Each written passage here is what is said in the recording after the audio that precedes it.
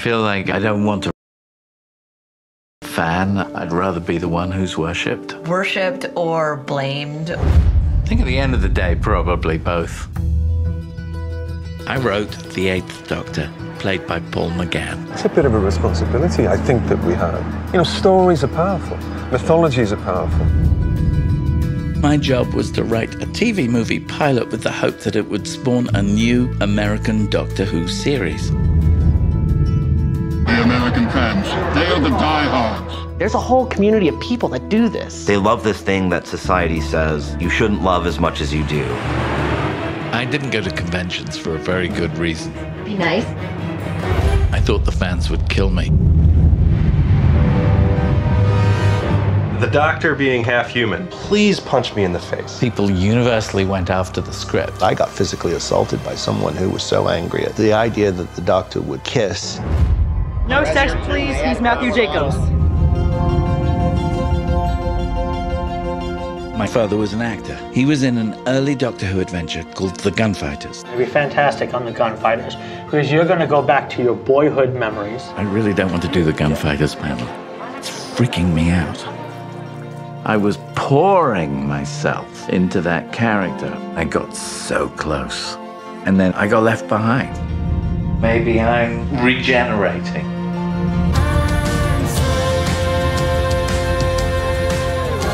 Doctor Who has helped a lot of people find who they are. This is a giant family, and it's full of love.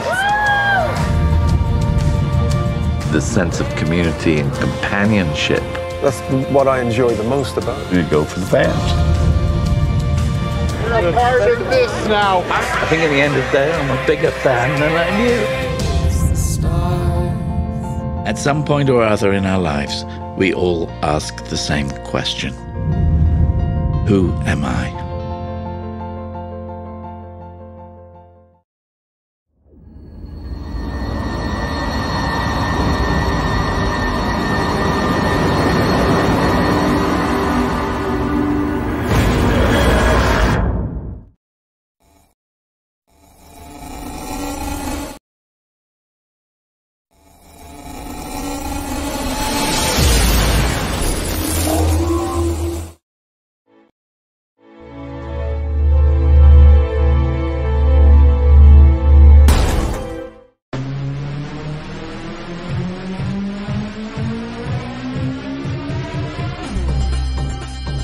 My name is Christian Basel. Years ago, I had an idea. I got myself a TARDIS. Took it to new places, met a lot of new people, took some great pictures, and talked Doctor Who. From Krypton Radio and the creators of the Hanging With web show, this is the legend of the traveling TARDIS. Join me on my latest adventures and become part of the legend.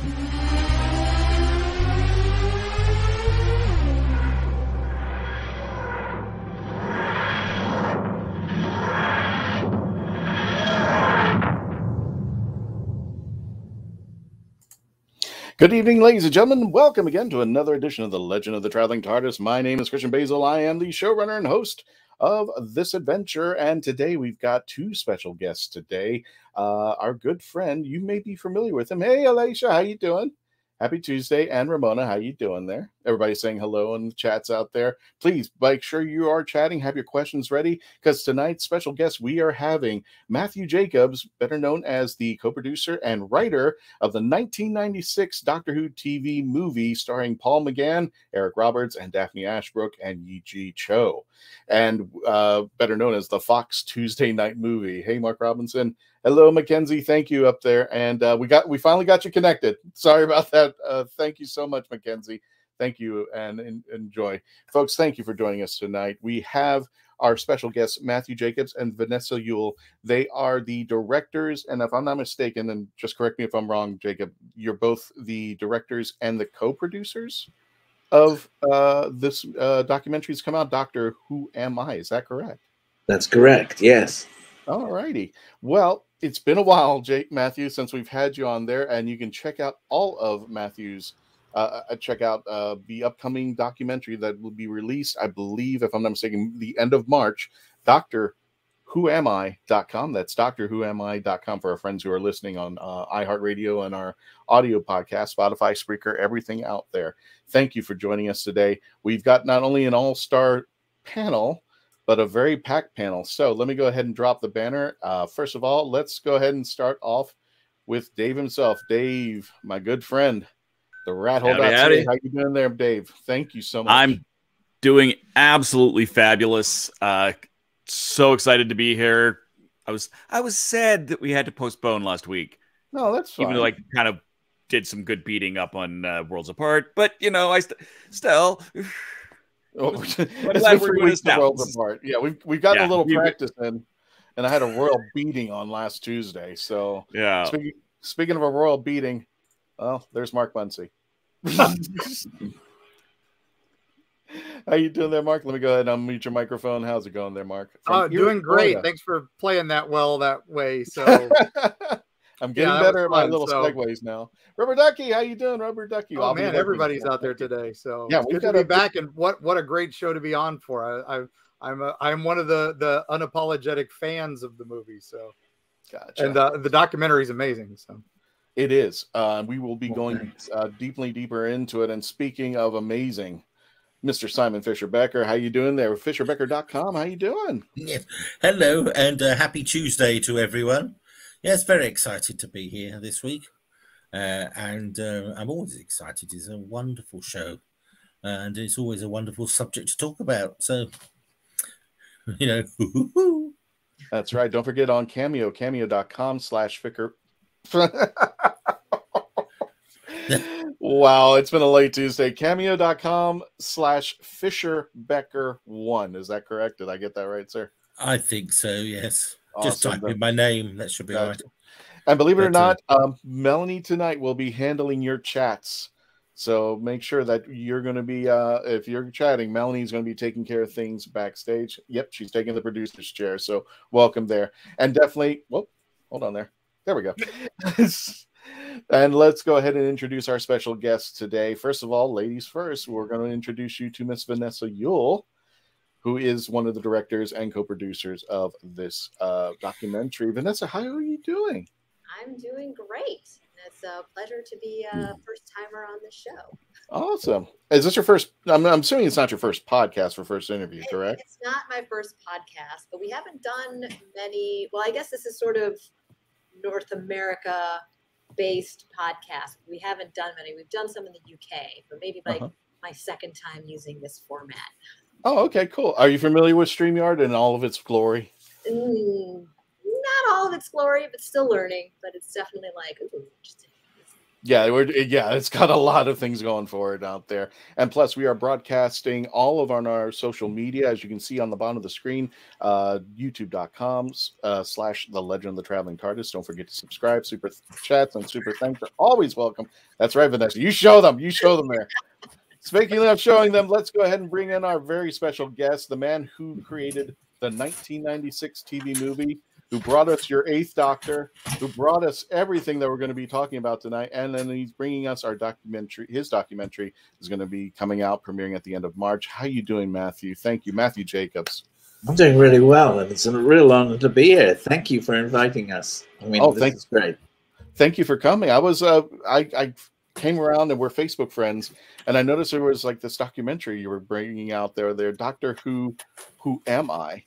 And we wanted to know something about that. But first, talk to us a little bit about that documentary. Where, where did you get the title for that? And I know where it comes from because Yeah. we I've seen the documentary.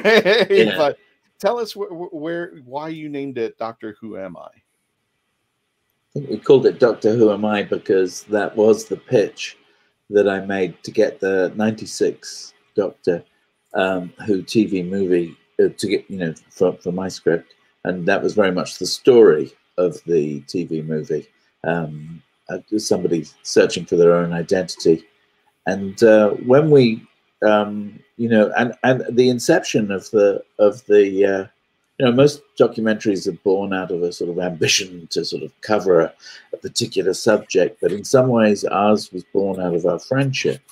Um, uh, Vanessa and I have been working together on a couple of movies, and um, and we, you, I mean, you could tell them Vanessa because it was really just as much Vanessa's idea as mine. In fact, probably more so. I was sort of dragged into this, I think, and and the title Doctor Who Am I was just a knee-jerk reaction of yes if we're going to go off and explore the world of american fandom it should be about identity it should be about this um, but, but really i think vanessa tells it best how the whole thing came to pass Really, Vanessa, tell us a little bit about that and that title. That this Well, I was um, meeting Matthew for this is at the end of December. I mean, it's been a long time. It's taken a long time to make this documentary. We started filming in February 2015, um, and it's just been, you know, we're just been going at it, and we're so thrilled that people are finally going to be able to see it. Or in the UK, they have been able to see it, and that people in the US will be able to. Um, but it was at the end of 2014. I was visiting Matthew. Uh, I was in town for a job at the end of the year, and it was sort of a bet. It was um, a, a friends meeting up because um, you know I've worked with Matthew on a couple of his features previously. And We're Mhm. friends, and um, it was after my father had passed away, and we were you know ha- over a cup of coffee, and was telling him about that, and lightening the mood. He started telling me about these uh, conventions that he was getting invited to, like in where, where was it? Sarasota? No, in Florida. It was in Gainesville, or somewhere in Florida. It was just like, oh, this could be hilarious having Matthew. because i didn't want to go No, he didn't want to go. He's just okay, David Tennant. yeah, he's just like, well, it Oh wasn't that. It was just, just like everybody. We. It's just I had this fear of the whole thing, really, which was ungrounded, um, uh, and you know, you were- it wasn't. Yeah. well, it's just this idea. First of all, Matthew in Florida seems kind of funny. I love Matthew. He's just hilarious. And him like wrestling with alligators and crocodiles. And, you know, he's headlining this show. I mean, you can tell more about the show, but I'm like, you know, crying, like laughing as I'm hearing all about this. Because I also didn't realize that Matthew wrote the TV movie. I didn't really know about the TV movie. And so I was like, why are you going invited? Why are you being invited to Doctor Who conventions? This is bizarre. And um, Oh, I wish I had that problem. where I was just like, this is so random. I'm like, why? You're, you're Flo- Florida, Doctor Who? Like, Matthew, what? Um, because of out of all the things that he talked about, he never mentioned the TV movie. And I'd never seen it, but I knew Tom Baker from when it was on um, public uh, broadcast PBS, and um, watching it with my dad, so it's very nostalgic. Um, but so my mind was just being blown. I didn't know the controversy behind the TV movie. That you know, oh, the doctor kisses his companion. Oh, he's half human. Um, so out of all of this, is. like this would make a great documentary. We need to film this. This is going to be a train wreck. Let's film this train wreck, and you know, and he's my friend, so it'll it'll be a fun journey for the both of us. I've been invited because then what had happened is that's very good. I mean, I'd been invited to this strange convention, um, and and because it was run by someone who was a little, um, well, I should say crooked, really. He set it up and then he cancelled it. This was way back in like 2015, and he cancelled it and run off with the money. And so Oh. suddenly it was all over I the think I internet. was there too. Was this here in Um, Florida? It was in Florida. I think it was Oh, in yeah. Florida. Um, and remember that one. and uh, and it was a very it was it was it was all over the internet. And so as a result, Sean Shaun Lyon of of Gallifrey contacted me and said, "Would you want to go to a real come come to a real convention?" We didn't even realize you were here in America, Matthew. Um, so so um, so and normally the conventions don't really write uh, bring in writers. It's normally about the actors. So so I said yes, absolutely, but as long as you give us, you know, permission to film and and um, and some rooms, you know, so that ooh, I can bring a crew.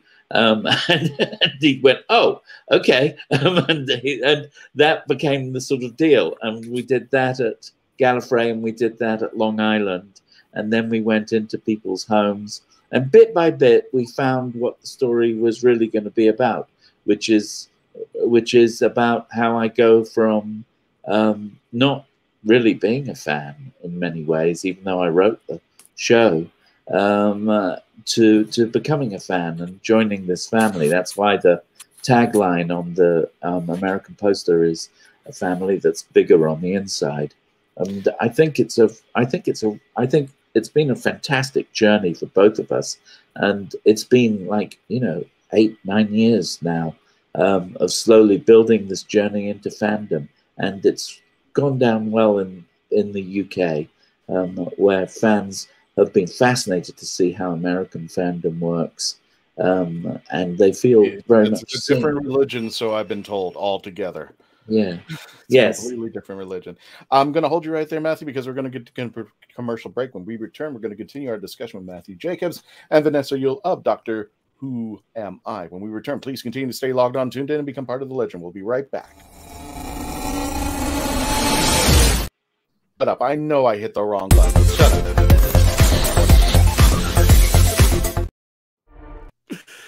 Oh, Chris.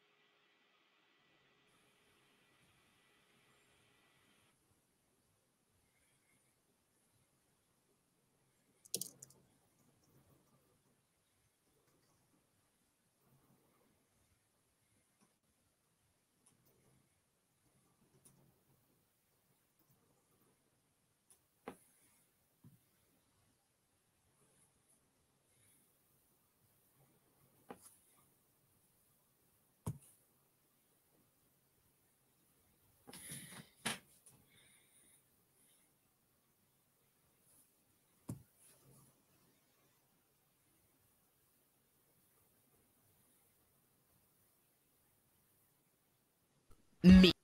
Me, the doctor. I'm the doctor. But not the one you were expecting. All right, sexy. It's time to go home. Doctor Who Velocity. Streaming now. Hello, ladies and gentlemen. Welcome back to the Legend of the Traveling TARDIS. My name's Christian Basel. We have our two special guests tonight. We have the lovely Vanessa Yuille, and we also have the lovely Matthew Jacobs, who made a documentary called Doctor Who Am I? And we're continuing our uh, discussions. Please make sure you go- into the chats. Don't forget to like, share, and subscribe to our YouTube channel. We're getting close. We're getting very, very close to uh, 3,000. Uh, hopefully by before the end of this year. There, Mackenzie says we know Christian can never pass the right. Shh, get her up. Get Melly, get her off. get her off. yeah, I know everybody's criticizing because I hit the wrong button again. I know, I know. Shush. Always, always. said- Always. Yeah, this is this is a Especially when we have standard. They guests. really are professionals.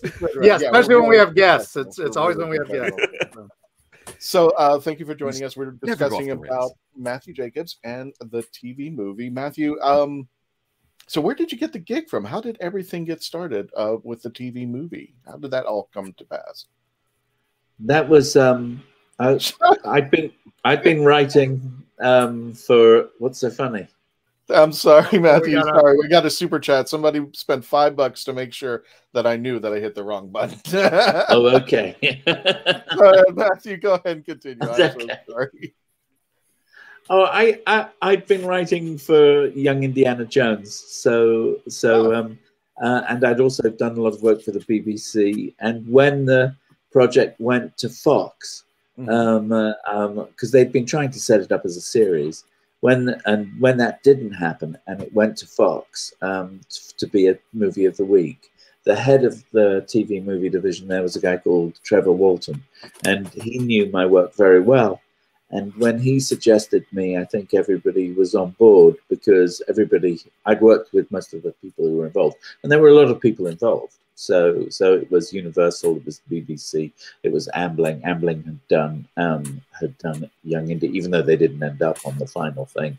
They were involved for a while prior to me coming on board. So, so everybody knew of my work. So as so as a result, um, they came to my agent at ICM, um, Cindy Mintz. And Cindy Mintz contacted me and said, "Would I like to, you know, go in and pitch?" And so I went in and pitched, and my pitch was, um, "Well, Doctor Who am I? You know, we'll see the regeneration, and we'll go, uh, you know." And I basically pitched what you end up seeing. Um, and so it was for me. It was quite a quick process, even though they'd been doing it for years. Um, and uh, and the, the script happened quite quickly. So it was very conventional. I basically got the job from my agent.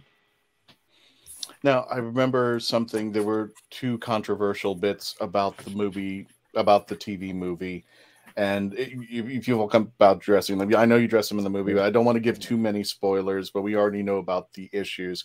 One of them, I really, you see, we didn't have Twitter or any of these uh, these things that we communicate with, Facebook, all those guys out here, like we do now, as you can see here. And um, one of the things that hit home with me was your reasoning for using the doctor being half human. And unfortunately, I felt the same way when I first heard it. Oh my God, it's Spock. And yes, that's you see, I that, wasn't. You see, I was just.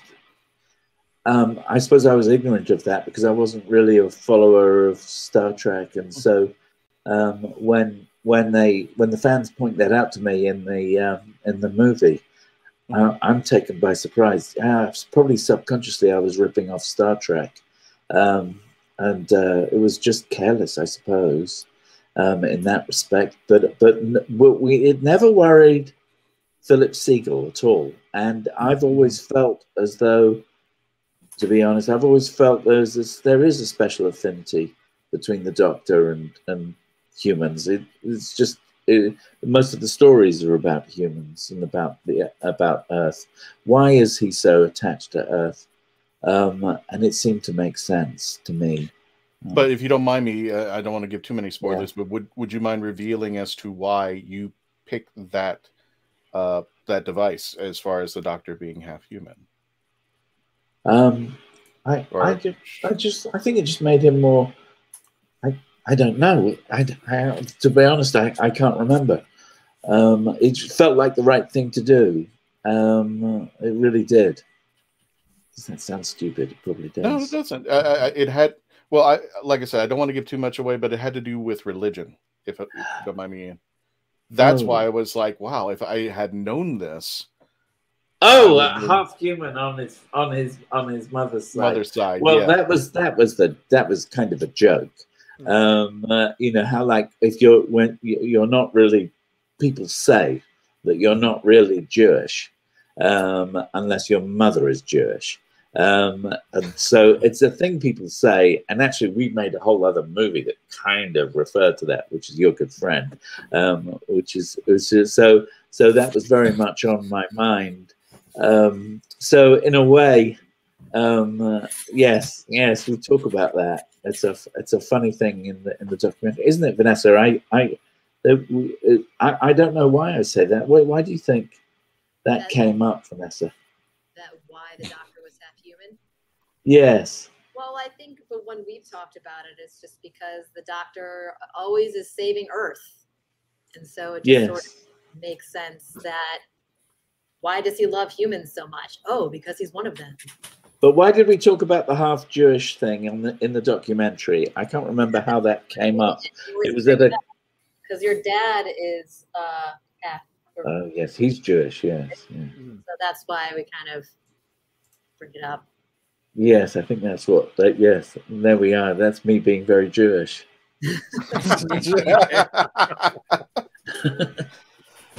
I got on the bus the other day. There was a kind of a strange guy. There's a lot of anti-Semitism in this country at the moment. Oh It's a bit scary. A lot of isms.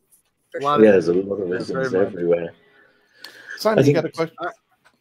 Oh, go ahead. No, go ahead. Go ahead. I'm sorry. I was just gonna say, uh, my now my I'm I'm a fan of the movie, and uh, one of the reasons I'm a fan of the movie is you brought back the great Doctor Villain, uh, the Master. You know his, his Moriarty to his Sherlock. So um, when you had, you know, there's there they are right there. So um, have, having fun writing for them. Yeah, I know um, Eric Roberts was cast after you wrote it. Did, how Right. much fun did you have writing the villain? I mean, that's always my favorite part of writing. Oh, it's it's such fun, and the master's wonderful because, I mean, the thing about writing villains is is a, a villain has to be his own hero. He has to, you know, under, he has to he has to understand why he's doing stuff. Um, and with the master, um, he he not only understands that, but he also enjoys um, being who he is. And that's my feeling in all the incarnations of the master. It always works best when the person who's playing it um, enjoys who he is. Um, so there's that sort of confidence there. And I have a question: Why Eric Roberts? What made you pick him? Because he goes really outside the grain. He's a, he's an American actor, um, completely different than what we normally would have seen for the Master. Well, we wanted to have a British doctor, and so it became uh, it became a trade-off, really. Um, uh, Fox needed an American name, and Eric Roberts does have a following and is well known in America.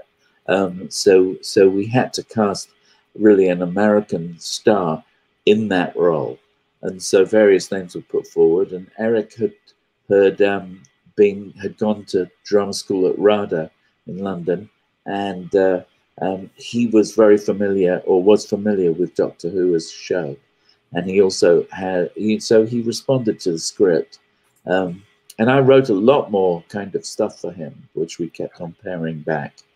Um, but uh, but he was he was um, tremendously game and uh, enjoyed it a lot. I mean, what what do you think about Eric Vanessa? What was what? I mean, I thought he was great. yeah. I saw the movie after we talked. So it was in 2015. It was the first time that I saw the movie. It was before I even then jumped into the new series. So in a way, you know, I guess Paul McGann is my second Doctor that I, I love a lot. There's Tom Baker, then, then Paul McGann, and then of course Christopher Eccleston, my first. Um, but I thought it was great. I thought the movie was fun. I didn't see why anyone would be up in arms about it. I thought, you know, the that Eric Roberts was hilarious. Lots there were lots of great one-liners, and I just thought it was an enjoyable movie. So I didn't. I, I thought he was it was great to be cast. I love Eric Roberts. I just think he brings something to it. So I, I was biased. I thought. We have a, uh, a question in the chats. Uh, um, this guy, uh, this is Tom Kosak, better known as the hashtag guru. Rebs, ra- Rebs, raves, and rants. What was the concept of the Master's eyes? Oh, he had to wear those. Well, if it in in the TV movie, basically, the master has been reduced to a blob of slime that's conda- contained in a casket. Um, uh, the abyss. So when I saw that, I was like, oh, 90s CG. Oh, they're so excited about kind of doing like lobby things. How charming. That's right. So so so he so when we see the the the slime, as it were, um, that is that that is the master manifest itself. It manifests itself. It carries itself in the um, ambulance driver's uh, costume, you know, back to the back to uh, Bruce's place, um, and and uh, you see it come out briefly, and it manifests itself as kind of like a snake, and then the snake leaps into Bruce's snoring mouth and basically possesses him from inside. So he has these reptile-like eyes. That was the idea there. Um, that that there was something um, that was definitely not human that was controlling um, Bruce's body. Um, it was all a bit all all good fun, and and then and uh, I, I snore, so that was that was why. Um, the snoring. I, am sure Eliza was happy that you you shut up Eric from snoring. I'm sure she enjoyed that before her death scene in there. That's right. Uh, we're gonna. Oh, go ahead, Vanessa. I'm sorry. but then there was kind of like uh, homage to Terminator. It seemed. Yes, yes, definitely, yes. With the with the Mac, that I mean, the they they kind of, I mean, Terminator owes a lot as well to to other stuff. So, but but definitely, it it, it was the nineties, and and he was going around on his body. You know, he was having enormous fun with that, and he makes this sort of magical appearance in the TARDIS, um, and uh, he somehow he gets into the TARDIS ahead of um, Yee Jee, um, which which is which which is a sort of a you know there's a there's a lot of loose ends I think with with um, with the master. There's a lot of Maybe loose ends with of the master. Yeah, there's a lot of loose ends with the master, where we just normally say, "Well, that's the master." Simon, I know you got a question, and then we're going to go a commercial break. Simon, what's your question for? us? Uh, just a very quick question. What was the process of actually choosing Paul McGann? Oh, When yeah. In, in Paul- America, Paul- there's so many English Yes. already out there. Uh, I- I'm not. Uh, I I mean, Paul McGann was brilliant. Uh, Yeah, no, Paul and would having had met him al- now. He's utterly delightful. He is. He was. He was. He was someone who Philip Segal had had his eye on to play the Doctor when they were developing it as a series um, at Universal, and um, so Paul had already done an audition prior to, I think even prior to me starting on the on the feature script. So they'd already decided that he had exactly that right sort of blend of uh, sort of he, he he he sort of brought together a lot of the things that up until that point we'd come to expect from the doctor. He was um, uh, he was dashing and he was funny and he and he was uh, you know and he wasn't and he was also um, was he like a man of the people you know that kind of thing. And and I think there was a lot of things that Philip really liked about him. Um, so really early on they were saying to me this is Paul McGann and we're going to fight for Paul and they did now, if I'm not mistaken, didn't Capaldi audition for the role as well? Did I hear that right? You know, that he just- might have done. I, he wouldn't. I wouldn't have seen his audition. Um, Oh, okay. But um, but it was. Um, um, he, you know, it was already. Paul was on board before. I think may have been before. Definitely before Geoffrey Sax came on board. When Geoffrey came on board, then we got into casting Grace and we got into casting the supporting roles. Um, and uh, um, it's casting these shows is it's a it's a very sort of slow process simon you know you, you know this it's a it's a kind of a it's a it's a sort of it's, and it's a question of trading this thing finding the right chemistry um, the reasons why somebody is cast um, is, uh, is it's a mystery to me. And i act i'm an actor too and i never understand. And so is vanessa. And we, we you know we both go up for for roles and things and, and do, do quite a lot of work. But um, it's a very you know i never understand how it happens. I think you just have to audition and regard that as the job a lot of people say that and i think that's Well, one of the things in the UK, I don't know if you experience in the States, um, Yeah. having I actually worked for my agent for a period, and it would surprise you the number of actors who moan about not getting a casting, then don't bother to turn up. don't bother So- to turn up where to Yeah. auditions Yes, yeah, Oh, and Right. and uh, and I often, when I'm talking to students, they ask me, you know, what's the tip? You know, of getting regular work. I, and I say, well, just turn up at the audition. Sometimes you might just get the job by default because you're the only one who turned up. Yeah, that but, can uh, happen. it- but it's it's bizarre. Uh, I find that very bizarre indeed. But, uh, Speaking of Yeah. bizarre, we're going to go to a commercial break. When we return, we're going to continue our discussion with Vanessa, Vanessa, and Matthew. When we return, please continue to stay logged on, tuned in, and become part of the legend. Stand by, folks. Here we go.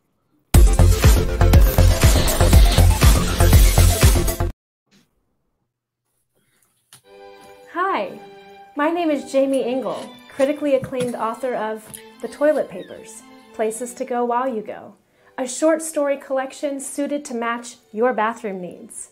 Only have to go a little? No problem. I've got stories under a thousand words for you. Far from poopin'? I've got you covered. With stories over 5,000 words to keep you occupied, while your latrine stays occupied. And that's not all. The Toilet Papers is endorsed by the fine folks from Squatty Potty, the stool for better stools. But don't take my word for it. See what Dookie the Squatty Potty unicorn has to say on YouTube. You won't be disappointed. Well, I've got to go, but you can grab your copy of The Toilet Papers on Amazon in ebook or print, or get an autographed copy from me at therightangle.com. And don't worry, I promise I'll wash my hands first. The toilet papers. You might just stay in the bathroom longer than you need to.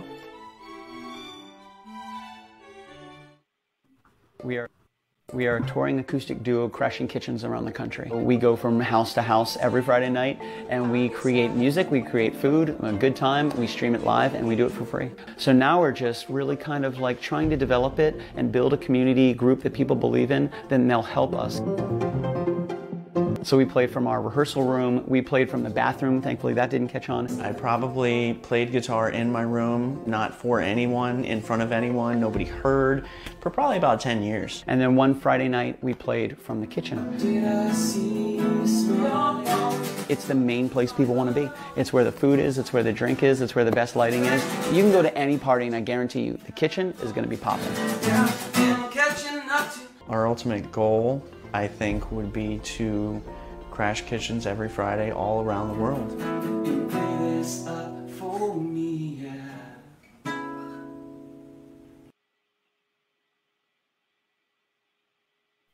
Back, ladies and gentlemen, to the Legend of the Traveling TARDIS. My name's Christian Basel. We have our special guests, Matthew Jacobs and Vanessa Yuille, who made this documentary called Doctor Who Am I? We're going to make discussions. Don't forget your chats. Melanie's actually in the producer's chair, so she's hitting up your chats. So if you have questions for Matthew, Vanessa, or anybody on our team, please, by all means, shout it out out there. Vanessa, your question How'd you meet this guy?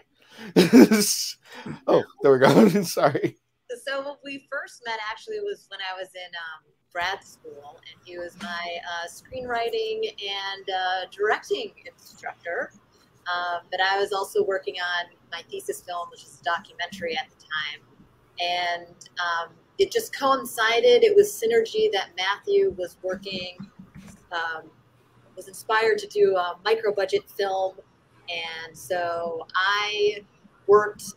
Uh, I was like a crew member on it as well, the assistant director as well as an actor in the film. And then Dylan Glockler, who was the cinematographer of Doctor Who Am I, um, we both worked with him many times. He was wonderful. And Dylan was also the cinematographer of Your Good Friend um, that Matthew mentioned before. So um, it was actually in film school. That's how I met him. And then it just developed into a friendship and a collaboration. Um, I mean, Matt, how, what would you say? That's that's pretty much accurate. It's absolutely. yeah. so you- and I mean, you the thing didn't about, sorry, Oh, the thing about Vanessa was was we found we got on really well, and Vanessa was kind of slightly more than the assistant director on Your Good Friend and on Bar America. Both those films I play uh, I play leading roles in, and the thing that Vanessa has that she has a real talent as a director, and she's also has a tremendous talent uh, for no bullshit. I think um, which means that at the end of a take, I could turn to Um, I'm sorry, YouTube. Give me YouTube gods. Don't do it. Don't do it. It wasn't in the first 30 seconds. We're okay. That's right. We're fine. We're fine. Go ahead. yes. man. Is there something wrong with it? Anyway, I could turn to Vanessa at the end of a take and basically say, Did you believe that? Um, and she would give me a very honest answer. Um, and which is really what you want to know when you're if you're acting and directing at the same time. What you really want to know is is what you're doing credible. Um, so we be, we became very much duo. So it was very much a natural thing for us to co-direct Doctor Who Am I. We got a question from the hashtag Guru. Were there any plans to explore Gordon Tipple's, Master, before you being captured by the Daleks? And what incarnation was he? Well, we never know about the Master. Pick one. Sorry, what, sorry. What was the question? Uh, the question was Were there any plans to explain Gordon Tipple, who is the Master, for roughly about 10 and a half seconds before he's executed and blown up in that little device thing? Uh, I guess he's wondering if there was going to be any backstory. I, I'm assuming if the series continued, would there be any Gordon Tipple Master? There that- might have been. I mean, I've really no idea. I didn't. Um, it's it's um, I'm really my my knowledge of my back knowledge of the show is is is pretty lacking. Obviously, my father was involved, and I remember it as a child. But I I certainly couldn't go through all the people, all the different details. So no, there wasn't a specific plan on my part to bring was it Gordon Tipple back. Uh, Melanie, who's producing today, thank you so much, Melanie. When filming the documentary, was there ever a place where you couldn't bring the camera in and film? How did you work around that? It's a good question for Vanessa. Oh, how's my volume now? Is that better? Oh, it's perfect. Yes, it's Okay. Much better. Thank you. I just cranked it all the way up. Um, Yes. there you go. Um, well, I guess in the um, in the at Gallifrey, I guess there were some places that you we couldn't film, like around the Starbucks area. So we had to make sure we didn't have any logos in. Um, but other than that, everyone we had them sign kind of personal releases and location releases. So we didn't come across any issues unless I'm missing something, Matthew. I think there was um, obviously there are things that go on at conventions that we we we we, we didn't capture because conventions are wild, and in the evening people get together and they party and they get drunk and they do do things that we didn't really show that side of it. Um, and uh, so I suppose we didn't. Why show not? the sort of- Well, I, you know, I don't know about you, That's the Vanessa, extended cut. I remember on the last day, um, we went to a fantastic party. Um, and I remember walking around there going, why didn't we film any of this? You know, why, why didn't we, why didn't we film? I, do you remember that, Vanessa?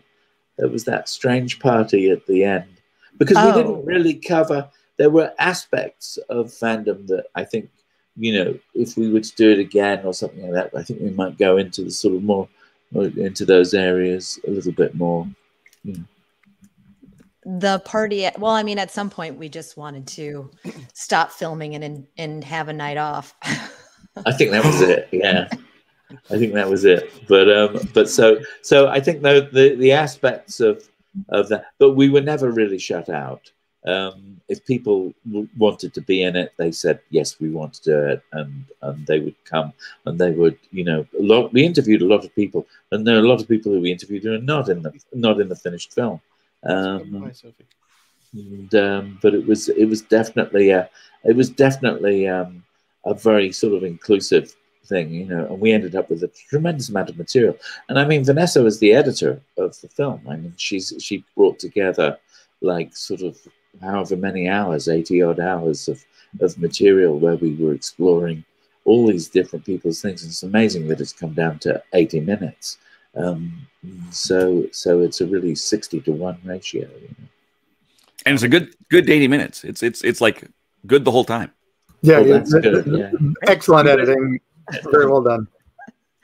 we had we we um had a lot of test screenings which was very useful and just constant feedback so it's always like all right gotta go back to the footage all right just gotta go back to the footage but you know since it did take us a long time to make, we were able to certainly refine it so it flies at a pretty quick pace. And wherever there was a lull, it was like, all right, something's not working. Whatever we can do to just keep the story moving. And so, yeah. So if it, it now you say it take took a long time and you started in what 2015, I think you said. So here's there's a quote near the end that may well have been at the very beginning of the filming, asking how this you thought this was going to change you, Matthew, and you said you didn't think it was going to. Yeah, And one point did- after the fact if that if that's still what you think now. Well, I think it has changed me. I mean, I mean, there was a point that that particular interview was during the um, uh, uh, well, while we were filming for the first time in Gallifrey, and and uh, by the time you get to the end of the documentary, which is in Long Island, um, and and then much later, um, I, I I felt as though it, it really I, I found that I'd become a fan basically. Um, uh, whereas at the beginning, I'm I'm I'm a bit um, supercilious or or you know I'm, a bit of an idiot really, um, not really um, opening, not really understanding this. So this the process of understanding um, how fandom works has changed me slightly, given me much more of an appreciation that it's not so much about the show really. It's about the community that and i know that's a easy thing to say but to truly realize the communal nature um, of fandom um, whatever it's for be it for um, uh, star trek or star wars or any or, or doctor who or anything you know the the the way in which we come together as fans to realize that was incredibly invigorating and and in a way um, brought about uh, my own little um, my own little regeneration, if you like, which you see in the film. When you first went to your first convention, and how did you feel, and how did the Whovians ultimately treat you when you first walked in there and set up everything? How did they make you feel? Well, there were some some who were were, were very honest, and, we show that in the film.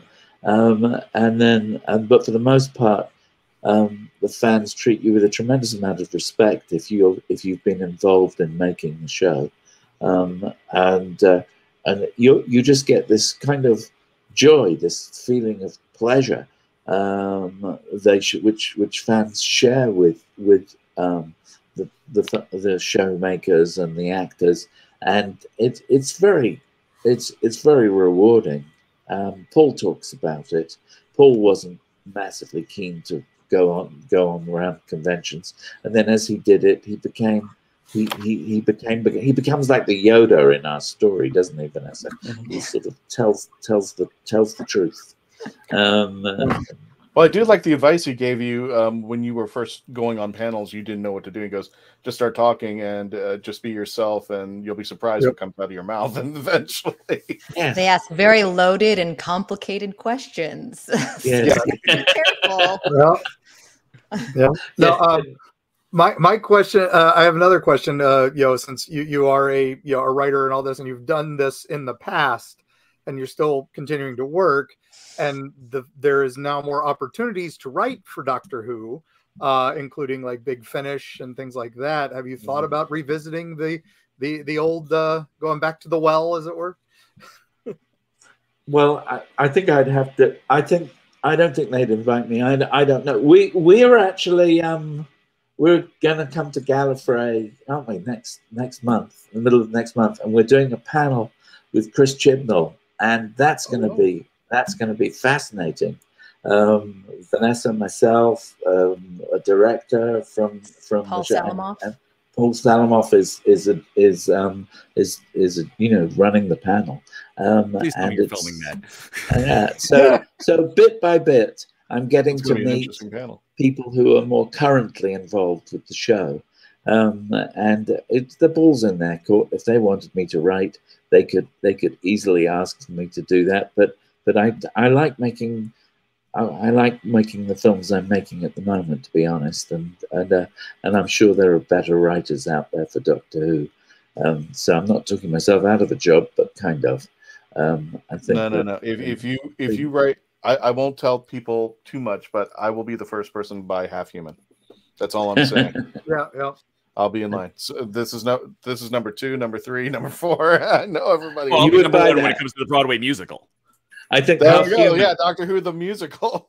there we That's go. That's right. We talk about it in the Put this man documentary. on the musical. We talk about we talk about doing a show called beautiful. Half Human.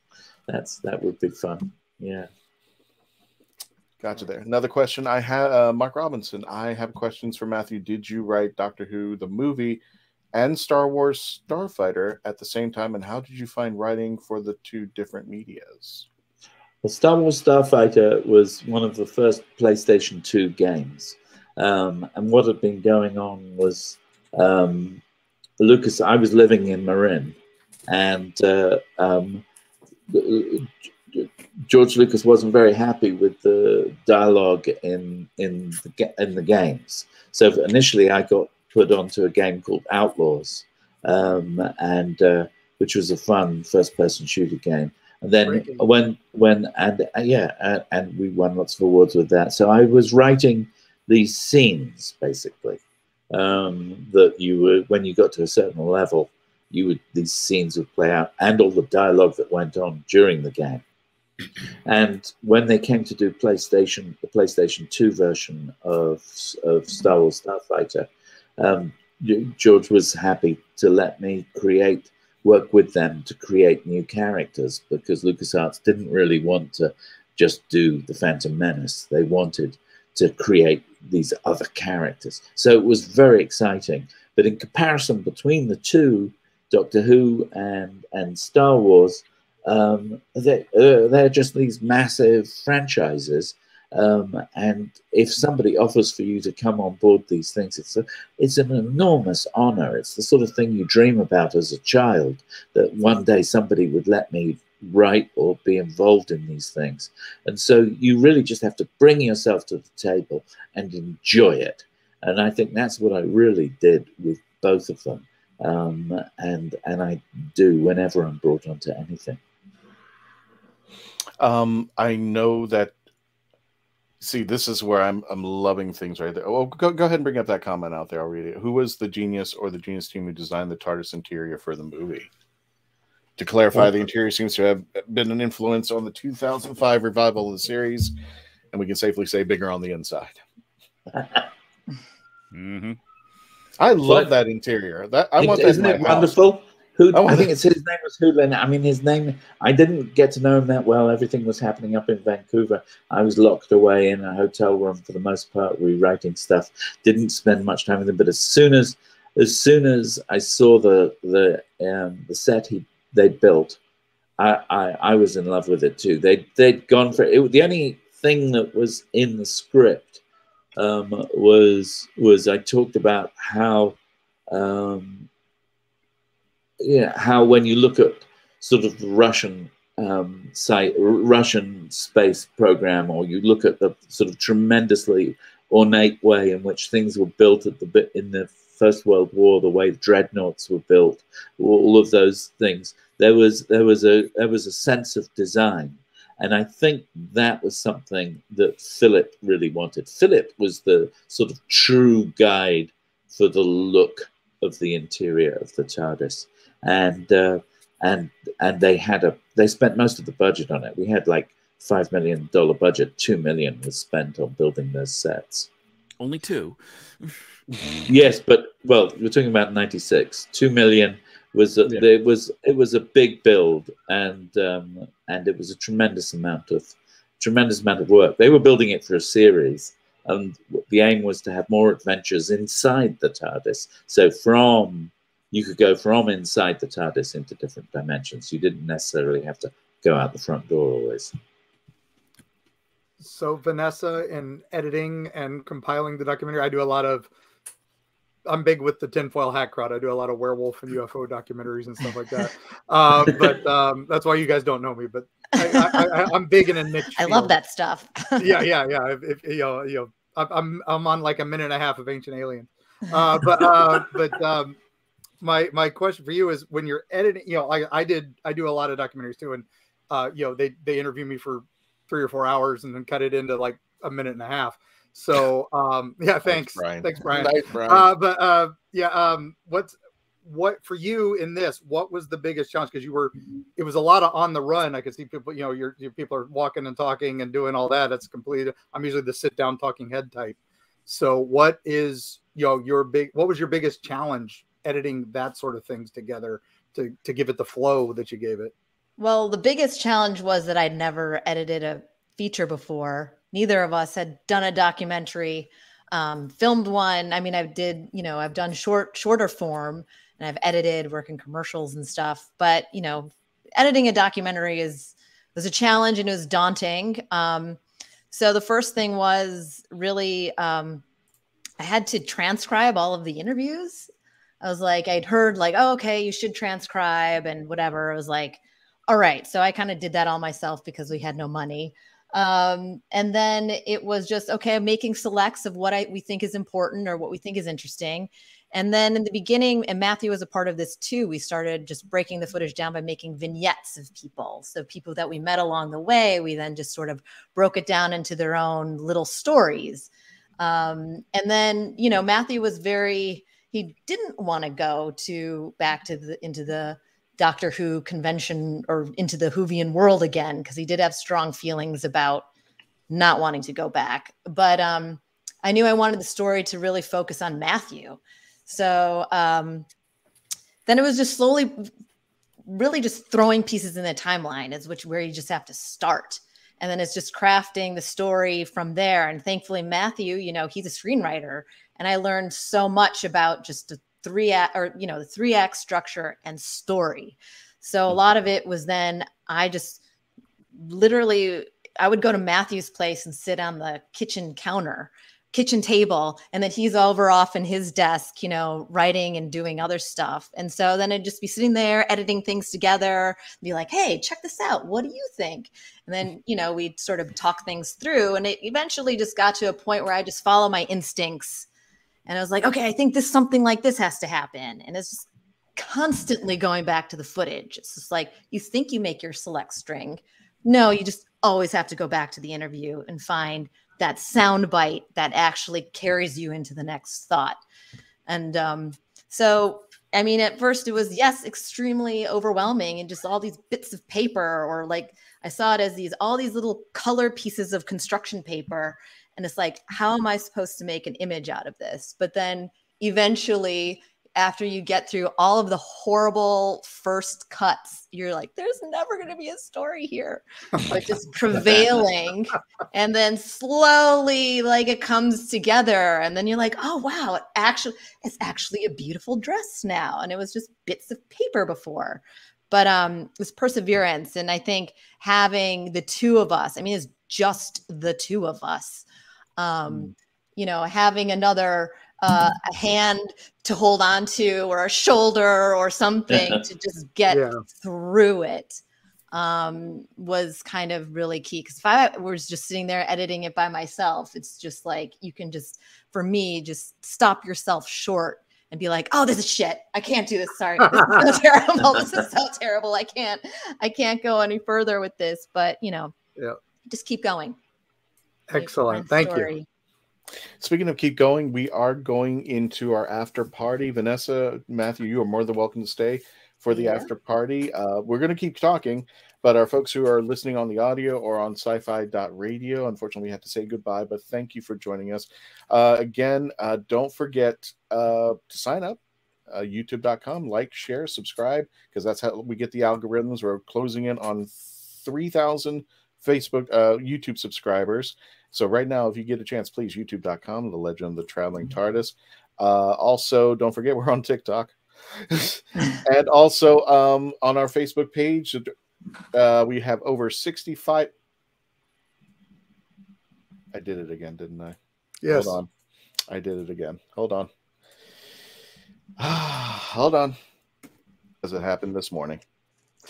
We now have 66,000 Whovians. Thanks to January, we have accumulated 1,000 more Whovians into our entourage. So everybody, thank you for joining us on the facebook.com slash the legend of the traveling TARDIS and quickly growing 66,000. You guys are crazy. 66, I guess 66 really like that tiny little TARDIS. But yeah, there, yeah, that's a number. And also for those of you listening on our uh, on the audio, iHeartRadio, Sci-Fi.radio, Odyssey, Spotify, Spreaker, Podbean, wherever you listen to your favorite podcast, you can download for free and listen to our audio. So for those of you who are sticking around, uh, again, Vanessa and Matthew, you stay as long as you want to, but we are just going to go ahead and end the audio portion and give us one second. We'll be right back. Thank you, everybody, for sticking around with us and always become part of the legend.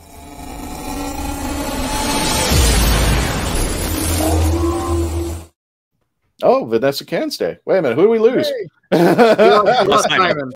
You lost Simon. Okay, yeah, because I think Simon. Hey, it's it's it's late for him. so I know, good. I know, and I know he was having some technical issues, but thank you, uh, thanks Simon for joining us. Melanie, you want to get in here? Go for it. Uh, Mark Robinson, not sure if it has been said to Matthew, but as a Whovian from the UK, I would like to say big thank you for creating the Eighth Doctor character. Without Matter, we may never Paul McGann as the Eighth Doctor. So thank you so much out there. Well, it's So- appreciated. Thank you so much. Thank you And- for watching.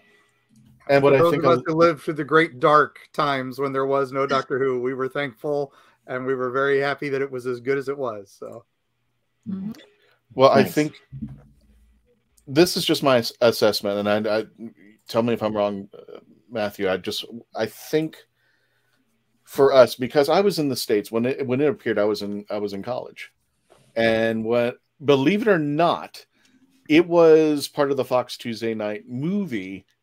I saw the commercial when I was just staying up one night at 3 a.m.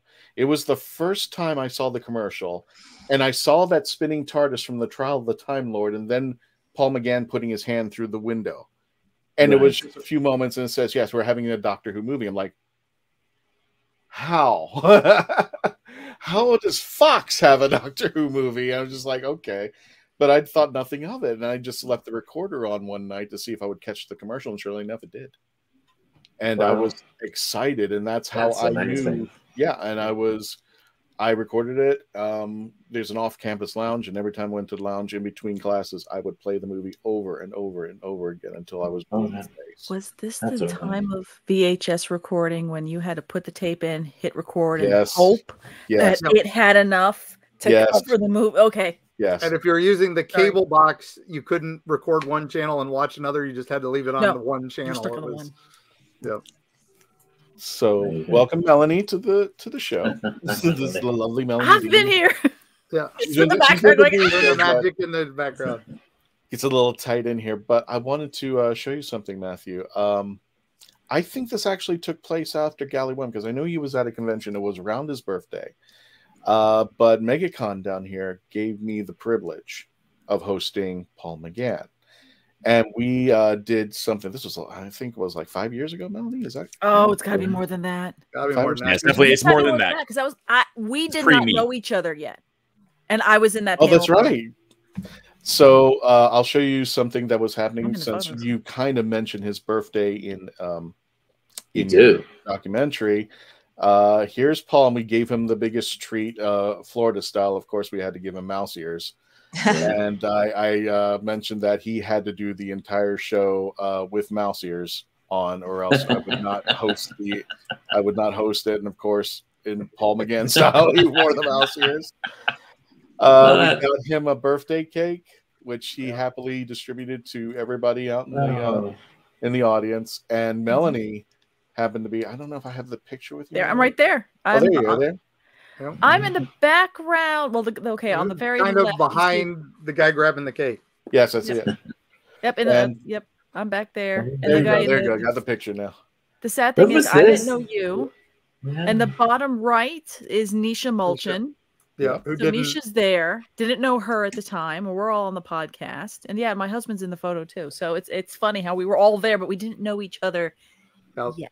And I had a panel opposite it, and I was so mad because Oh. I missed it. But I don't know if you, uh, Matthew, if you're familiar with the traveling TARDIS. I'll give you the rundown for you and Vanessa. Ten years ago, I bought a TARDIS uh, diecast art model. Unfortunately, he's asleep in the other room because uh, I haven't unpacked yet. so, Oh, uh, yeah, so he has had, if you can see here in this picture, this is a funny one too because Paul is a big fan of that little blocks. He loves Right. taking a picture with it, and uh, he just happened to be with um, uh, Yeah. Eric Roberts at Florida SuperCon, and I he won the picture, and I said, "Could you and Eric put a picture together fighting over the box, uh, over the TARDIS?" and yeah, and it was uh, Paul was going, "Come on, come on, Eric, let's do this, do this," and Eric's like, "Yeah, I don't know about that." so eventually, he got his own picture with the TARDIS. Yee Jee got his own picture with the TARDIS. Daphne Oh, that's good. own the picture with the TARDIS, so they all have a unity. And plus, a good friend of mine wanted me to make sure you saw this picture. Well, thank um, you. This one particular picture because of Eric Roberts. He was. Some people weren't happy that Eric was part of the master, but he took this picture of him. I'm canonical, and there's nothing you can do about it. What does, what does it say there? I'm canonical, and there's nothing you can do about it. Meaning Well, that there's no way you can get rid go. of Eric Roberts master. So Yes, that's right. Yeah. He's, And well, those are great. finish, I mean, so when was when was Paul with you? Was that was that in 2016, 17? I, it had to be like five years ago or something like Yeah. that. It was more than five years ago. More I than think it five was years 14 ago. or 15 because that was my first year doing Erie, Florida panels. Yeah. Wow. I'm, I'm sure Melanie's on it. Yeah, look up. Uh, it was called. MegaCon Fan Days. After having watched Doctor Who, this is Dan Holyfield. Uh, check him out on his podcast, The Last Man Standing, up on YouTube. After having watching Doctor Who and PBS and fan-made video VHS tapes, having the Doctor come back during the Great Hiatus was an awesome treat. I was sad it didn't go this Agreed. go to the series, but it was what it was. Um, It was November twenty second, twenty fifteen. oh, geez, A lot more than five years. Yeah. Wow, 2015. There you go. It was it was 2015. So that was yes, that was um, before we saw him because we mm. saw. Well, it was around this. It was around that time, wasn't it, Vanessa? I think it was his first U.S. tour, Yes, so I think it would have been around then. Mm-hmm. That's interesting. Yeah. So I think we had a question in the chat, right? There Okay, was let's leave it. one.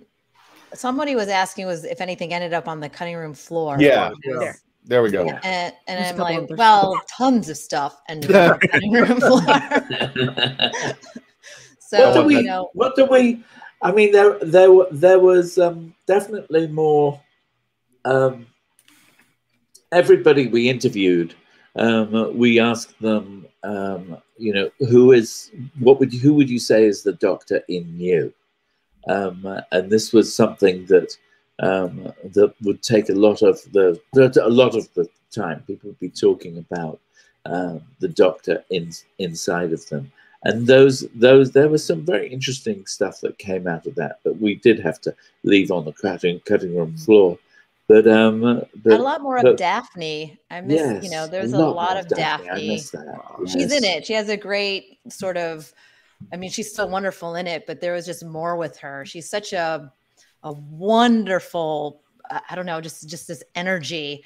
Like whoever whoever has met her knows, but it's just like she is that just wonderful and warm in person. And so we had a lot more behind the scenes with her and even Paul.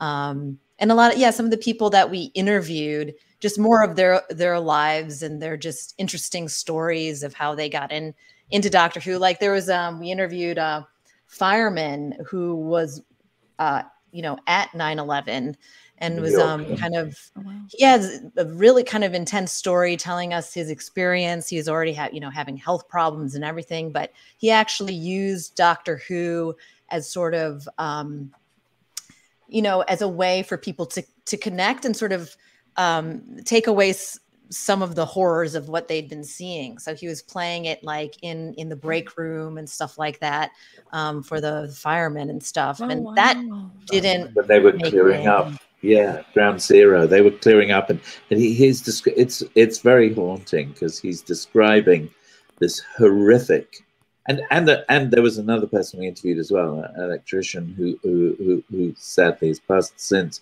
who also had wonderful stories a wonderful story about 9-11 and um and so that element of how um everybody brought something to the table of how the of how Doctor Who provided uh, sort of a balance to what was going on in their life because we all go through trauma of, of one kind of or another. It's just a human thing. It's how you learn, and it's how how those those things. But for some reason, Doctor Who um, has become this tremendous touchstone um, for people because there's an optimism, I think, behind the idea of Doctor Who um, that is very attractive. Um, certainly was attractive to me as a child, and I think it's been attractive to other people. But that guy who worked for the New York Fire Department um, was, was was that was a marvelous story that we couldn't include. You're right. Yeah, it was How are we just- supposed to follow up on that? How are we It's supposed to follow that story? I mean, it just sounds like a very, Right, it- it- everybody. it's a Yeah. very therapeutic form of escapism. So Yeah. that you could just compartmentalize everything away and just, you know, be able to to be happy, be in a better sphere mentally than having to, you know, have to deal with all those those constant emotions that he had that were just probably very very arresting to him. Yeah, Yeah. if That's he's wonderful. out there, it And, would be uh, lovely to see him. I mean, it was just interesting how everybody had their own very personal story of what brought them to the doctor. Some of it was mm-hmm. just like childhood, but others it was just definitely this identifying with this person, whereas all the individual can change the world. And so Yes. everyone had such a wonderful responses. We couldn't fit them all in. And so, yes, a ton ended on the cutting room floor, and maybe there'll be extras one day. Um, when you when you find the time to edit some more, right? You're like, oh, Uh, I'll get right on that. Was it But Bruce yeah, so- Campbell did Fanalysis where he was interviewing all the Evil Dead fans and he did that and he was talking about he was just going to do a, a one just super cut with everything and it was going to Mhm. be 12 hours long and 20 discs and he was going to sell it for $20 a disc so he could make more money. Wow. Really? well, well, this, the thing is the amount of time it takes to pull these things together. Um, and, There's a uh, budget. You yeah. could do it. But we started There's a this with just the spirit of, oh, let's make a movie. Yeah, right. Let's go shoot. And so within two months, we were filming, and then we're like using our own money. And we did do a little like Yeah. Kickstarter. We did find some other money, but Yeah. it's been like, you know, kind of our money. And it's just like, oh, the joys of independent filmmaking. How Um, many I- hours of raw, raw footage do you have? Well, I think it's like about, I have to add it up again. It's at least 80, at least Stages, 80. I think. You know, Well, because you see, sometimes it would be two cameras as well. Um, so, well, so- counting two cameras, it'd be more, but yeah. Yeah. I mean, Sequel. yeah. Like, so the sequels, yeah, Doctor Who am I again? Doctor Who am I forever?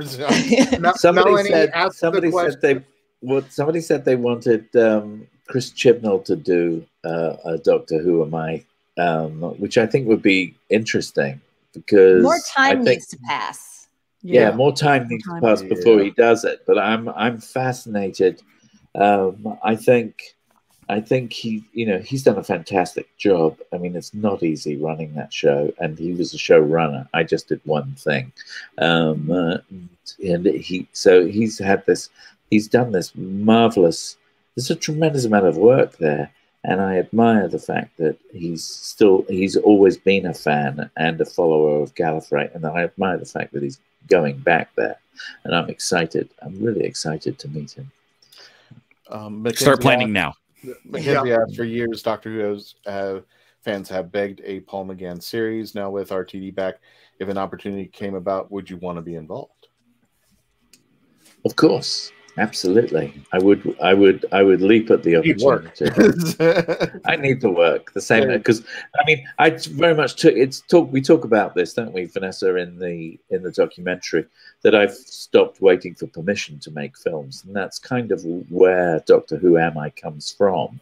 That attitude. Um, uh, after 2007, the sort of economic collapse there, the TV movie kind of disappeared, which was my bread and butter and and uh, that when that went away, I decided, well, I'm going to do some teaching, and I did because there was, was a writer's strike, and then from that I started doing some acting, and then from that I take took this new attitude, which is we're just going to make our films. As soon as we come up with an idea for a film, it, it's going to be greenlit, and we're going to make it, uh, and the money will come.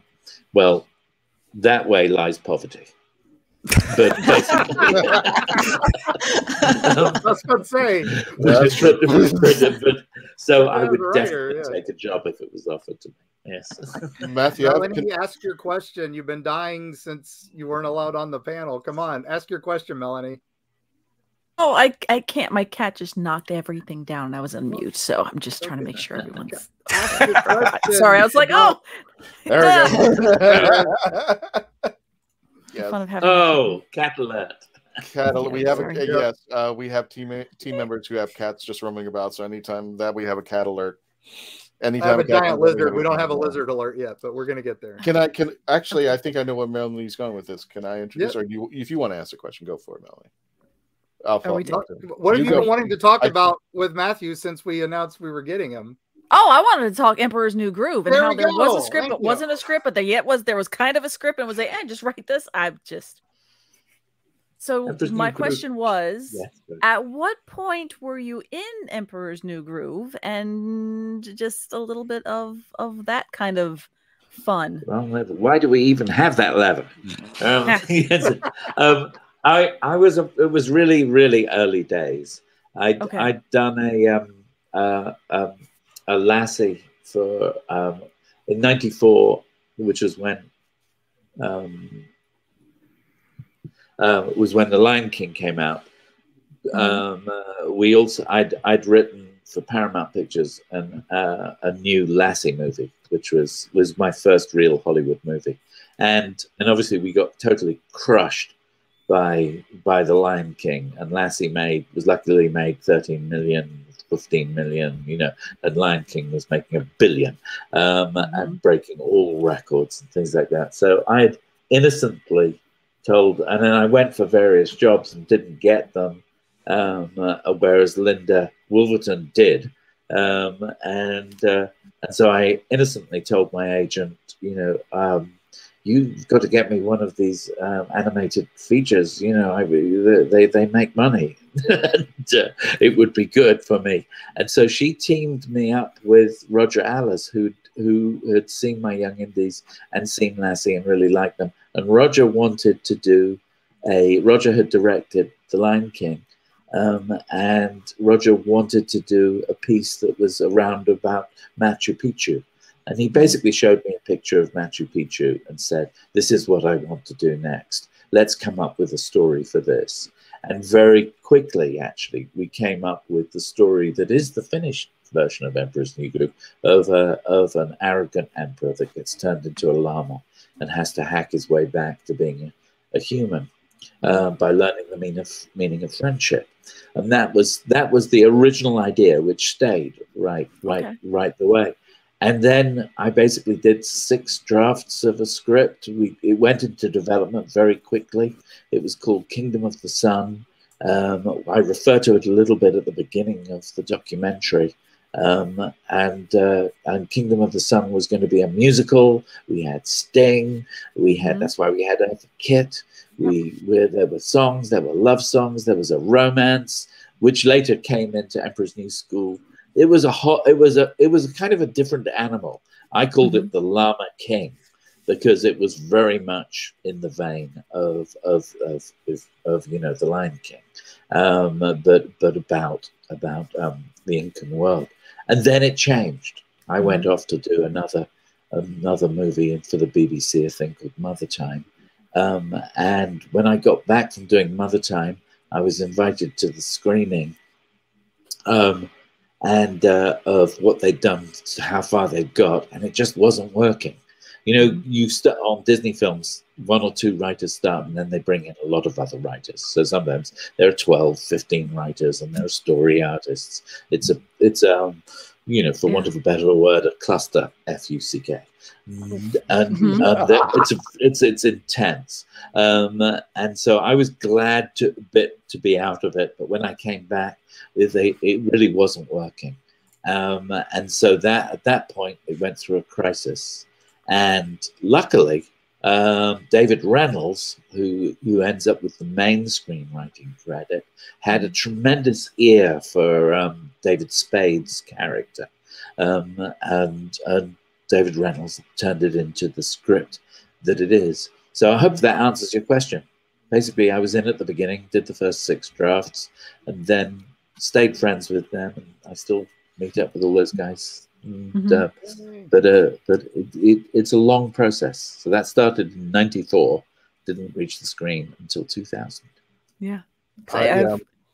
So I was gonna say it's, I, I I absolutely love that movie. I lo- I always remember watching it, the DVDs of it, and I know it didn't really do well at box office, but it kind of part of that cult kind of thing is oh no you gotta watch this you gotta watch this, and then slowly okay. because of YouTube finding out oh no this was supposed to be Empire of the Sun and that it was supposed to be like a brother story, and then you just start hearing how it just moved and everything. And at that point, I was uh, earlier, like with uh, my first like college kind of careers. I wanted to go into I wanted to go into filmmaking, and I've since Right. somewhere else. So I was just so intrigued, going, "Wait, what was this process? Wait, how it is that happen?" fascinating. There's dig out dig out really a documentary. There's a documentary called In the Sweat Box that was made by Sting's wife Trudie, Mm-hmm. um, um, and it's def and you can find it it's in its cut and copy form, you know, with with little numbers, you know, the time code at the bottom. Mhm. Um, Disney tried to suppress it, um, it but it was Oh. it, it goes in detail into the what into that transition it made from being a musical to to being uh, what it is. I think um, I got a confession to make. Um, I've told very few people about this. Oh. I never really had a Disney favorite Disney film. I told people for the longest time Aladdin because I was a big Robin Williams fan, but I never Yeah. really had a connection to a Disney film. And I consider The Emperor's New Groove, and I've considered this when I've talked to people, it's the caddy Caddyshack of Disney movies. It was the movie that wasn't supposed to work, but somehow it worked. And what I loved about this is I, I I hadn't talked to you about this, but it basically for me when I tell people it's like, oh, what works as a Disney film? Okay, let's crap it and let's do this because we didn't have the beautiful princess heroine, we didn't have the prince, we had a lead character which was kind of you know at first we hated him. You know, Yeah. he was this he was this idiot, and it became a buddy buddy movie. We the only music out of this movie is that beautiful song, uh, "My Two Funny Friends" uh, from Sting. Funny friend of mine, funny My friend funny of me. friend and me. And then you had Yzma and Kronk and all these characters.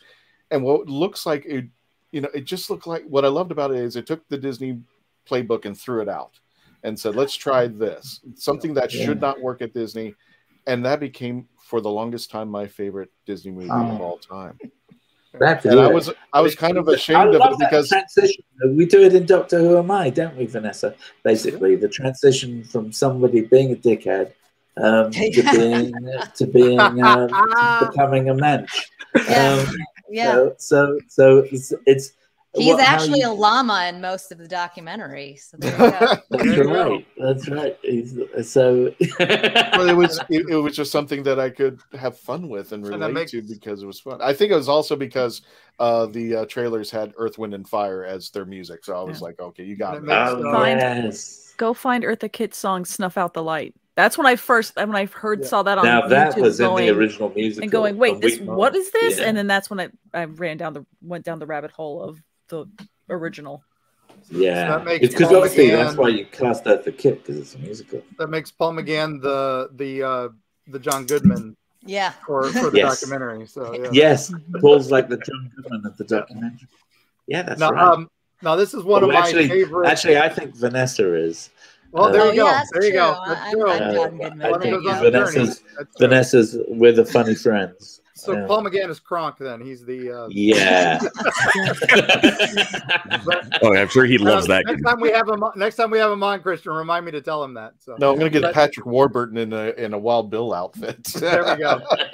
But um, Just coming so, out of the uh, TARDIS. one of my favorite books is uh, the Nth Doctor, which talks about all the movies that didn't make oh it. my God, you've got that. Yes. Yes, I still got it, and I love you know how all all the trials and tribulations to get it back on the air and all that.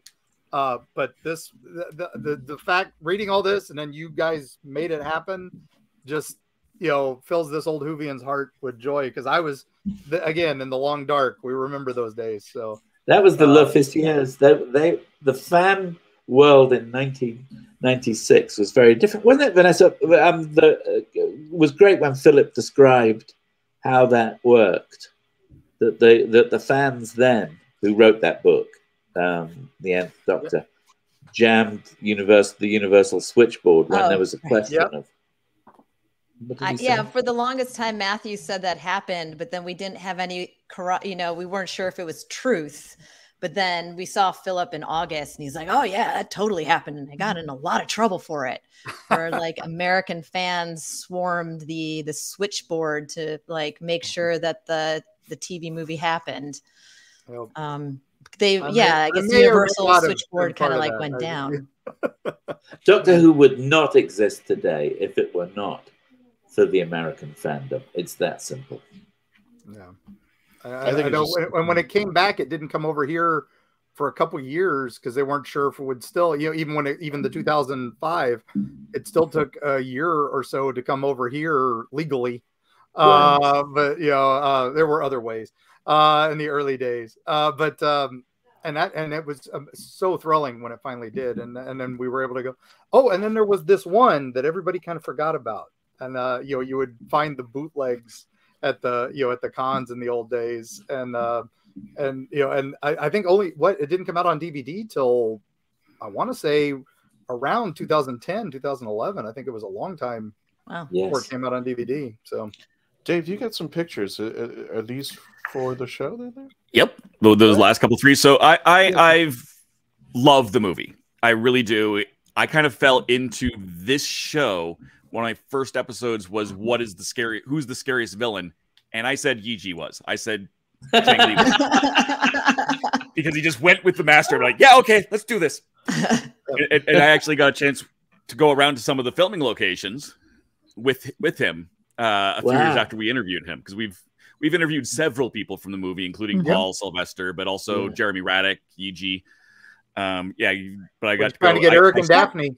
We need Eric Yep. and Daphne. Let them Yeah. know. And like, so Yee Jee's considered a bad guy. I guess I. It always depends on how you wanna fit it. companion. He, he was kind of the He- master's companion. Yeah, Teams but he just didn't get it. He, He heard what? Yeah, when we interviewed Yee Jee, Yiji actually let's go. smiled when we told him about that. Yeah. Yeah. So that's basically where Sylvester was shot. I'm standing Yeah, almost on right. exactly I where he got out. Yep. Yeah. And I, Um, and I actually he- went and filmed a uh, a review off at the park there. Oh yeah, that's that's where they did the final goodbye. the It was the fireworks. rainiest night ever. We were we were Oh, all really? soaking wet when we filmed that. Uh, Terrible. Oh, Um, and uh, Paul's wig looked like roadkill. The wig. landed I was- on his head.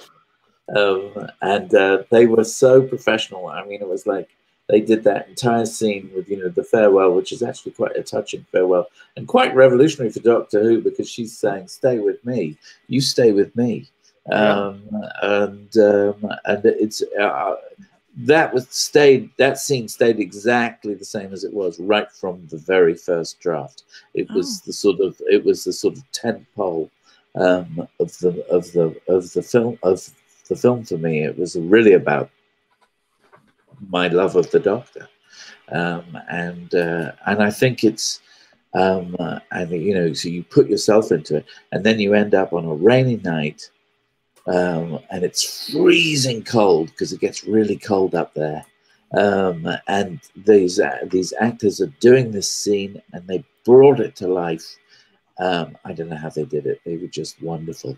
Um, they just did a marvelous job. And if you look on the film, you can actually see the rain. Yeah. You can see- Now, the next And thing you, I you see, can uh, even see a little bit in Yee Jee's book because Yee Jee took a bunch of photos on the set. Oh, really? I've never seen Have that. You've never seen this book? Oh, Oh, yeah. He's, got, he's done seen it, a video never- version of it actually. Oh, I should get it. But he's got it's really hard to find the physical one, but he's got the digital one. But he's got all these different locations and Oh, whatnot. that's fantastic. Um, and there's the But yeah, it's all just photos that he took on the set. It's so many. back at the time. It's Yeah. it's great. There's Philip with uh, with Sylvester. Yes, there you go. There was, there was a Way back big- when, when the camera wasn't, you know, right here in the palm of your hand. Yeah. Oh no, they were big Panavision They were big cameras. They were they were turn like they were like trucks. Uh, No, no, I I have this mentality now that the next time that Russell T Davies brings on um, Paul McGann as the Eighth Doctor, I'm going to bring an actual roadkill. And I said, Matthew wants you to wear this while you're on.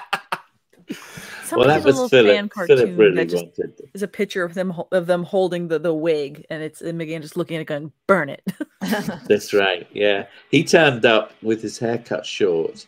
They, they, every, every, poor, poor Philip practically had a hernia um, because one of the big reasons he cast Paul was because Paul had, Paul had these Byron-esque sort of locks um, when he did the audition. Of course, the audition had been done a few years before, and he was doing a military role, and he had this short hair. Um, and so they they dashed out and got that wig. It was, a, but but you know, um, it's all okay at the end of the day. Um, it's it's it's it's fine. I like his. I like the look that Paul put together. I don't, don't, don't- didn't you, Vanessa? I like the look that Paul put together for Night Night of the Doctor. Yeah. Uh, more later He's versions. like he's cool. He's like, you know, uh-huh. cat is an edge.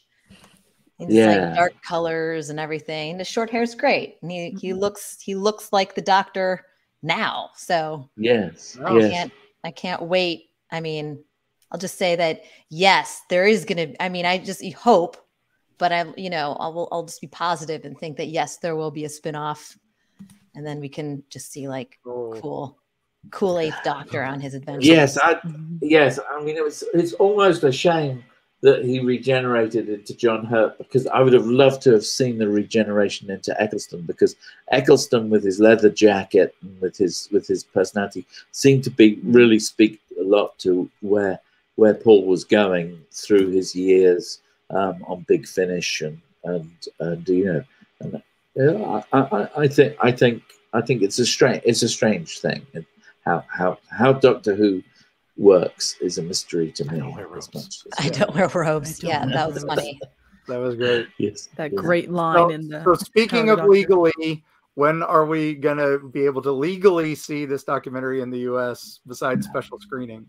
Okay, Well- so Before You do it, little, we should do a little more plug on the documentary for Yes, people. yes, that's what we're talking about. Who- Yeah. Let's bring them back So- up. So yeah, so we- so uh, Doctor so- Who Am I? Um, it's sort of an exploration of the American Doctor Who fandom, and it's following, you know, Matthew Jacobs and his journey, really from not being a fan to, you know, he's not being a fan to becoming a fan. And it's like, you know, Matthew's a funny guy. You've been watching this show probably, and he's uh I always I describe him like it's a Ricky Gervais, Larry David kind of character. Throw him into the, you know this convention with Doctor Who fans. We're expecting him to be, you know, you know, Eviscerated. these fans to be angry with him but um they're really lovely people i mean some people are kind of angry but um it's uh in a you know it's a funny documentary. It's emotional. People you know people find it touching when they see it and are surprised. Um, you don't have to be a doctor who fan in order to enjoy it but um I think it helps if you really like Doctor Who. Um, it's like, you know, my mom enjoyed it, loves it. You know, people who don't know anything about Doctor Who have found it to be a fun and touching movie. Um, it's truly an independent film. So the reason why we kind of got our distributor and we're finally going to be out there is um, in May, we got into the London Sci Fi Film Festival.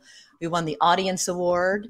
And then we were in the Melbourne Documentary Film Festival. We got a UK distributor. So we even had a UK theatrical release in, in October of last year. Um, but we're having our American debut um, on March 28th, and it'll be available for digital download, DVD, and Blu ray. Um, and we just really need the North American Whovians to have, like, you know, a grassroots kind of um, movement because we would love to have some, you know, theatricals uh, somewhere, uh, talk to the local cinema and you can, we can they can play Doctor Who Am I because it's the 60th anniversary. So there's like a lot of time between March and and November for for kind of more awareness for this documentary to come out. Matt, in the U in the UK, oh yes, what's in the UK? people would they did would do they did screenings, and the screenings were like special screenings where people were able to come and celebrate their fandom. Um, and they and they were they you know they weren't big screenings. There wasn't wasn't like a blockbuster, but it was definitely a way of celebrating one's fandom was to come and see this movie in your local cinema. Um, and they also you know people have been buying the Blu-ray and and they've been downloading it there. Here, this month coming in in February at Boston Sci-Fi Film Festival. If you're if any of the listeners here are, are based in Boston um, then then at Boston Sci-Fi Film Festival, um, they're they're using the film. They're using we're we're going over there, and we're it's the opening movie for that festival. Um, and there'll be a um, time travelers ball afterwards in the Crystal Ballroom, um, and then that's on the fifteenth of February. Then on the seventeenth of February, we're showing it to the crowd at Gallifrey. Uh, we're coming back to LA to show it there um, and that'll be fun. And then in and then in March there's the Beloit. Um, am I well, saying that's it right? end of February. Then end of February. That's end of February, um, and that's at the Beloit International Film Festival. Um, and we're still got our fingers little crossed inside our hearts that maybe Cleveland Festival might say yes, but who knows? That We certainly applied it there, and and I'm an alum. Yeah. they Yeah. All of, all of this is on the wrong side of the border. I'm sorry. Yeah. just, just saying, we, we do have cinemas here. well, well, I've read Well, that. I've I'll- got, well, it'd be great to like. I mean, i we're just trying to figure out how to get the word out there because we we've been, f- you know, f- funding this, you know, mostly ourselves, and we mm. need to just get the word out to people to for the pre-sales.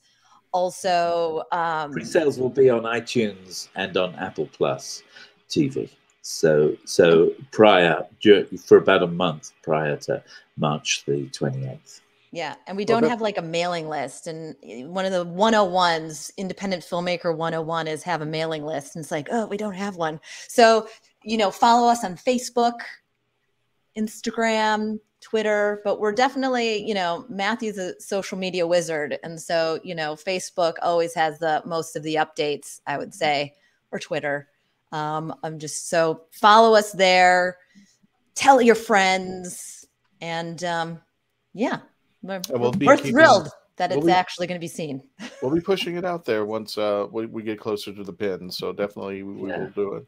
And uh, I um, think, uh, did you have one last question, Dave? I do, because I, I will not forgive myself if I don't ask this question. So we we chatted with with Jeremy Radick, uh, who plays Gareth, the young security guard Yes, who eventually saves the world.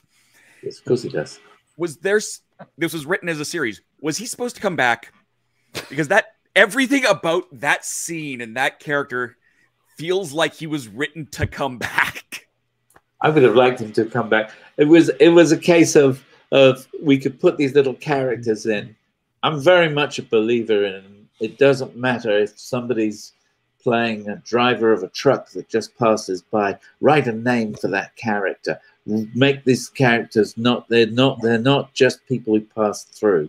Um, uh, and that was very much the case with Gareth and with other little characters, the the cop, um, you know, the, the any any any little character was important. And so, yes, absolutely, he would have come back if if um, if if the if it had if it had ended up going back to San Francisco in some way. I was hoping, you know, and so was um, you know, and so obviously was Daphne, was that we would continue with her character, even though they part at the end of the TV movie. Um, he would, you know, if it went to series, um, she would have she would have been brought in, and if she was brought in, then Gareth and you know what I mean, all those people we we done deals with would come back in one way or another. Well, we'll go ahead and wrap it up, and I'll show. Uh, I'll run the trailer again, so everybody gets an idea. Again, uh, this is for Doctor Who Am I? The best place to go to. The North American release will be March 28th. I think that's the first day of MegaCon too. If I'm not I think it is. Yeah. MegaCon, yes. Oh, 30th. 30th. 30th Okay. MegaCon. Okay, yeah. so it's a, it's roughly around that time. right there, 30th. though. right Yeah. there. Yeah. And uh, the best place to go to is doctorwhoami.com uh, for all this. And um, I can at least uh, attest to this for this. And I've, I've been wanting to say this to you, Matthew, um, for the long, for a while now. After I saw the uh, I saw the movie, there was one thing I did not see in the movie, and I I mean this um, heartfelt. I don't know Talk if I about documentary. Yes, your Yeah, documentary. um, I'm sorry. I'm sorry that these things happened to you. I'm sorry that you know Philip. Uh, Philip was, you know, threats like this were happening, and I I sincerely apologize. I just seeing it from my end, I was one of those folks who didn't know. Seeing the documentary has made my eyes open wide that things I did not understand, and I think maybe when you got to know the Whovians best, there were things you didn't understand about the us. Yeah. You you had an understanding. You had your understanding of what Doctor Who is, but I think maybe in in retrospect, you didn't have an understanding of how we felt about Doctor Who. I think And- Vanessa was very aware of that, and more so I- than than I was. but I think Whovians are very forgiving, and as over time, um, you know, people did like I loved it. There were just things that we just couldn't swallow at first, and unfortunately, the TV movie also went up against Roseanne Barr's last episode, which is a hard pill to swallow. But um, for what it's worth, from the Whoniverse, I'm sorry, and um, I I have hope to apologize, but thank you. I think, but I think welcome. The whole purpose of this podcast when it first started was everybody's opinions were welcome and everybody was part of the Whoniverse. And that I want to live up to that obligation and um, let you know hey, I'm glad you're part of the family. Thank you. So, without further ado, folks, uh, one last time before we end the show, thank you, Vanessa Yuille and, and Matthew Jacobs. Um, Thank you. Always check out the TV movie. And uh, March 28th will be the release of Doctor Who Am I. Will run the trailer for you. Uh, if you two can just stay for just a few moments afterwards, so I can get the last messages in there. Uh, but thank you all so much for joining us. Again, don't forget to like, share, and subscribe on our YouTube channel. Uh, again, thank you so much for kicking up another thousand in January. Holy cow, you guys are crazy, and I- we love you for it out there. Uh, also, we're on TikTok if you're into that out there. Like, share, and subscribe on the way out. And don't forget to say your goodbyes as you sit, as we leave. And don't forget to youtube.com slash legend of the traveling TARDIS to subscribe. Thank you all so much for joining us. And one last time, here comes the trailer. Melanie, stop praying. Thank Here you. goes nothing. Here we that go. one button you're thinking about, Kristen. You got Buttons. Like, got I don't want to regard myself as a fan. I'd rather be the one who's worshipped. Worshipped or blamed. I think at the end of the day, probably both. I wrote The Eighth Doctor, played by Paul McGann. It's a bit of a responsibility, I think, that we have. You know, stories are powerful, mythologies are powerful. My job was to write a TV movie pilot with the hope that it would spawn a new American Doctor Who series. The American fans, they are the diehards. There's a whole community of people that do this. They love this thing that society says you shouldn't love as much as you do. I didn't go to conventions for a very good reason. Be nice. I thought the fans would kill me. The doctor being half human. Please punch me in the face. People universally went after the script. I got physically assaulted by someone who was so angry at the idea that the doctor would kiss. No sex, please. He's Matthew Jacobs. My father was an actor. He was in an early Doctor Who adventure called The Gunfighters. It'd be fantastic on the Gunfighters because you're going to go back to your boyhood memories. I really don't want to do the Gunfighters panel. It's freaking me out. I was pouring myself into that character. I got so close. And then I got left behind. Maybe I'm regenerating.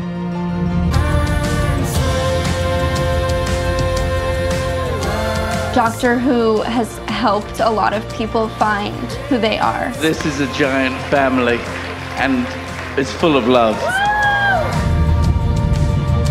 The sense of community and companionship. That's what I enjoy the most about it. You go for the fans.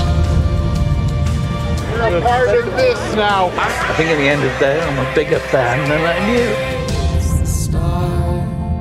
At some point or other in our lives, we all ask the same question Who am I?